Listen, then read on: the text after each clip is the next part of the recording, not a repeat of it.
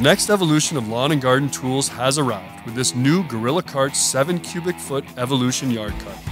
This cart is designed and engineered for a more ergonomic hauling solution and provides a great alternative to an old fashioned wheelbarrow.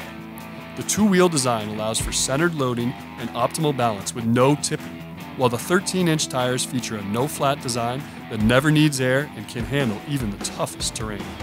This cart features strong and rugged construction with a 600 pound maximum load capacity.